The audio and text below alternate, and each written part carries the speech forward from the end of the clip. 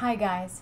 As I am preparing for a corporate group for mindfulness intelligence, there was something that really struck a chord that I felt the need to share right away. Because today, in this corporate training for mindfulness intelligence, we are looking at making waves. So, we're going to be looking at emotional frequency waves, we're going to be looking at brave wave, brain waves, and we're also going to be looking at the waves, global energetic waves that come from something called spiral dynamics, and that is how values have organized over time in society.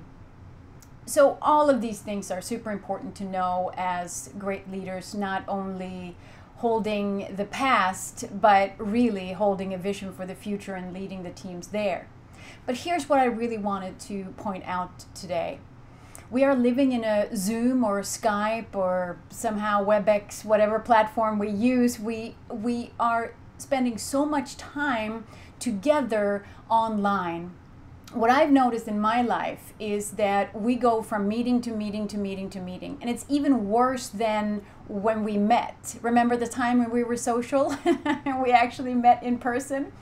What we do now is that we we schedule back to back meetings because we don't have to transport ourselves from one place to another, right?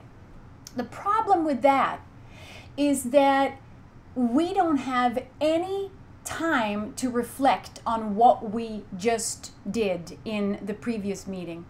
And the reason that's important is that for the most part, when we have an awake and alive type life, we are in the brainwave of beta. A lot of us are in high beta, which is stressful, but that's for another time. We're in beta mode, we are active, we are awake. The problem with beta brain waves is that we can't learn. Learning actually comes from a different frequency of brainwave, which is an alpha. It's called an alpha brainwave. It's a lower brainwave and it's a reflective, almost meditative type brainwave where we're not just focused on the outer world the whole time. But that's actually where we learn, is in the alpha brainwave mode. If we don't give ourselves the time to reflect, what happens is that a lot of these meetings are for naught. Because not only do we not learn, we can't even digest what has been said. So we're not at our best when it comes to strategic input from the meeting or even analyzing the meeting, as it were, and knowing, well, what do we even do with this time that we've just spent together and how is this valuable? So I would urge you to get some reflective time between your meetings and liken to buckets. You know, if you're in one meeting and you fill up your bucket, and then you go to the next meeting and you fill up with the into the same bucket, it's going to run over, right? This is not what we want because we're not retaining any of the knowledge, the inspiration, the thoughts we were having, the strategic inspiration that came up with us. None of that is retained because we just keep pouring in the same bucket.